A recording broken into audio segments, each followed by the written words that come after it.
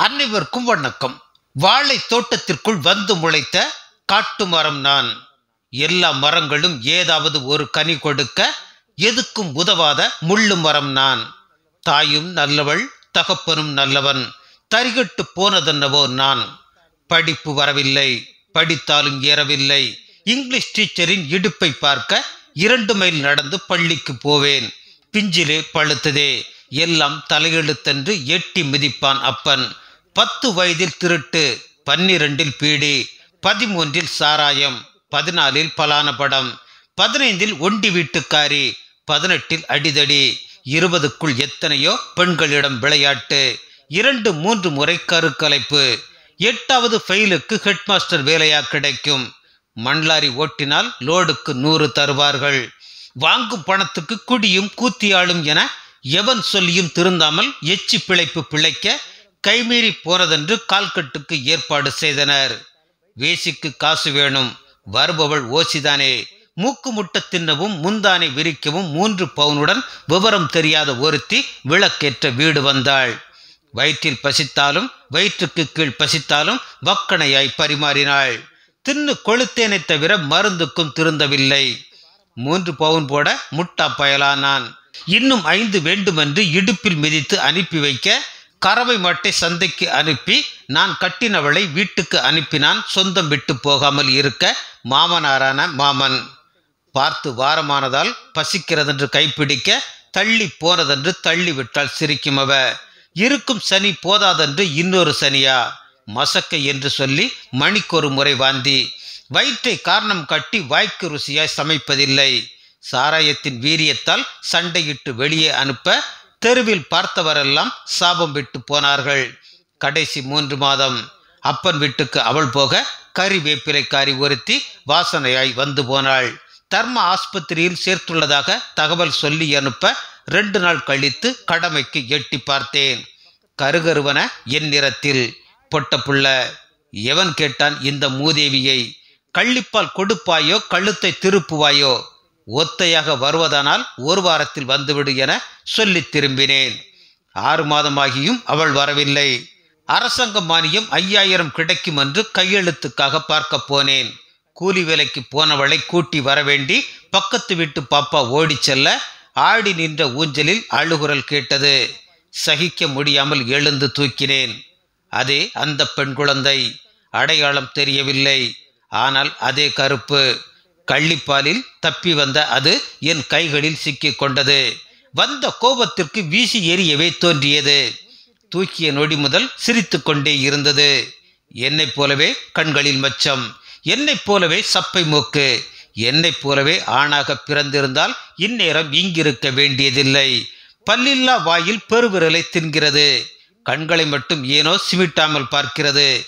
ஒரு கணம் விரல் எடுத்தால் உதைத்து கொண்டு அழுகிறது. எட்டி விரல் பிடித்து தொண்டை வரை வைக்கிறது. தூரத்தில் அவள் வருவது கண்டு தூரமாய் வைத்து விட்டேன். கையெழுத்து வாங்கி கொண்டு கடைசி பஸ்ஸுக்கு திரும்பி வருகிறேன்.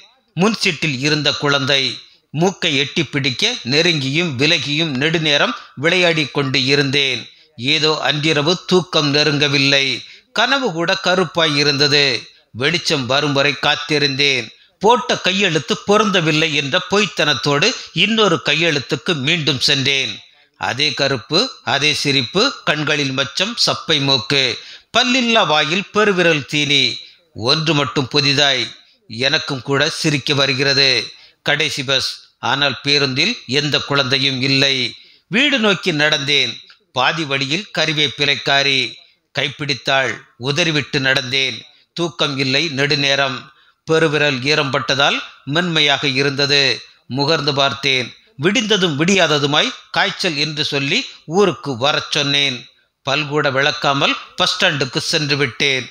பஸ் வந்ததும் லக்கேஜை காரணம் காட்டி குழந்தையை கொடு என்றேன். பல்லில்லா வாயில் பெருவிரல். இந்த முறை பெருவிரலை தாண்டி ஈரம் எங்கோ சென்று கொண்டிருந்தது. தினமும் என் மீது படுத்துக்கொண்டு பொக்கை வாயில் கடிப்பாள். அழுக்கிலிருந்து அவளை காப்பாற்ற நாளுக்கு நாலைந்து முறை குளிப்பேன். பான்பராக் வாசனைக்கு மூக்கை சொறிவாள் விட்டுவிட்டேன். சிகரெட் ஒரு முறை சுட்டு விட்டது விட்டுவிட்டேன். சாராய வாசனைக்கு வாந்தி எடுத்தாள். விட்டுவிட்டேன். ஒரு வயதானது. உறவுகளெல்லாம் கூடி நின்று அத்தை சொல்லு மாமா சொல்லு பாட்டி சொல்லு அம்மா சொல்லு என்று சொல்லி கொடுத்து கொண்டிருந்தார்கள். எனக்கும் ஆசையாக இருந்தது. அப்பா சொல்லு என்று சொல்ல முடியவில்லை. ஏதோ என்னை தடுத்தது. ஆனால் அவளை எதுவும் தடுக்கவில்லை. அவள் சொன்ன முதல் வார்த்தையே அப்பாதான். அவளுக்காக எல்லாவற்றையும் விட்ட எனக்கு அப்பா என்ற அந்த வார்த்தைக்காக உயிரை கூட விடலாம் என்று தோன்றியது. அவள் வாயில் இருந்து வந்த அந்த வார்த்தைக்காக மீண்டும் பிறந்தேன். இந்த சாக்கடையை அன்பாலேயே கழுவினாள். அம்மா சொல்லி திருந்தவில்லை. அப்பா சொல்லி திருந்தவில்லை. ஆசான் சொல்லி திருந்தவில்லை. நண்பர்கள் சொல்லி திருந்தவில்லை. நாடு சொல்லியும் திருந்தவில்லை. முழுசாய் மூன்று வார்த்தை பேச வராத இந்த முகத்தை பார்த்து திரிந்து விட்டேன் வளர்ந்தாள் நானும் மனிதனாக வளர்ந்தேன். படித்தாள் என்னையும் படிப்பித்தாள். திருமணம் செய்து வைத்தேன். இரண்டு குழந்தைகளுக்கு தாயானாள். இரண்டு குழந்தைகளுமே பெரியவர்களாய் வளர்ந்து விட்டார்கள். நானும் கூட தாத்தாவாகி விட்டேன். என்னை மனிதனாக்க எனக்கே மகளாக பிறந்த அந்த தாய்க்காக காத்திருக்கிறது இந்த கடைசி மூச்சு. ஊரை ஒன்று கூடி உயிர் தண்ணீர் விட்டு கொண்டிருக்கிறார்கள். எனக்கு தெரியாதா என்ன? யாருடைய பார்வைக்கப்புறம் பறக்கும் இந்த உயிர் என்று? வானத்தை பார்த்து காத்திருக்கிறேன். வாசலில் ஏதோ சலசலப்பு. நிச்சயம் என் மகளாகத்தான் இருக்கும். என் பெருவிரலை யாரோ தொடுகிறார்கள். அதோ அது அவள்தான். மெல்ல சாய்ந்து என் முகத்தை பார்க்கிறாள். என்னைப் போலவே கண்களில் மச்சம் சப்பை மூக்கு கருப்பு நிறம் நரைத்த தலைமுடி தளர்ந்த கண்கள். என் கைகளை முகத்தில் புதைத்து கொண்டு அப்பா அப்பா என்று குமுறி குமுறி அழுகிறாள். அவள் எச்சில் என் பெரு விரலிட உடல் முழுவதும் ஈரம் பரவ ஒவ்வொரு புலனும் துடித்து அடங்குகிறது.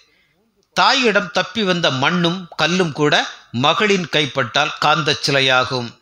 நன்றி.